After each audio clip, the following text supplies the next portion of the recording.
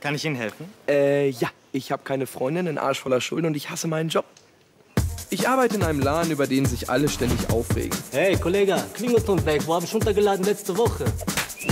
Hey, lad dir meinen Hauptschulabschluss runter. Entschuldigung, haben Sie Probleme? Bist du einsam, oder? Bitte, bitte, bitte, bitte. Einsam. Also mein Problem mit Frauen ansprechen und so ist, dass ich mich entweder nicht traue, weil ich noch nicht besoffen genug bin, Wir sind Stewardessen. oder schon zu besoffen bin und nur noch Scheiße laber. Wie viel Bonusmeilen bekommt man eigentlich, wenn man eine Stewardess vögelt? Ist doch ganz gut gelaufen, das Gespräch.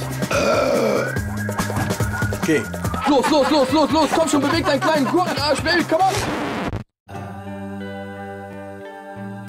Ich hab die Liebe meines Lebens gefunden. Kennst du das nicht auch? Man trifft jemanden und denkt sich sofort, leck mich am Arsch, sieht die gut aus. Ich könnte sie ansehen, verführen. Vögeln, poppen. Lern die Frau erst mal richtig kennen.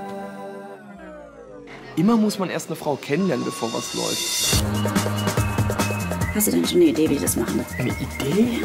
Ich bin doch nicht blöd. Ich habe einen ausgeklügelten Plan. Na, was hätten Sie gerne? Ich hätte gerne drei Kinder mit dir. Scheiße. Ey, wenn ich einen Mann zwischen die Finger kriege, mit dem würde ich so einiges anstellen. Hast du eine Ahnung, wie lange ich keinen Sex mehr hatte?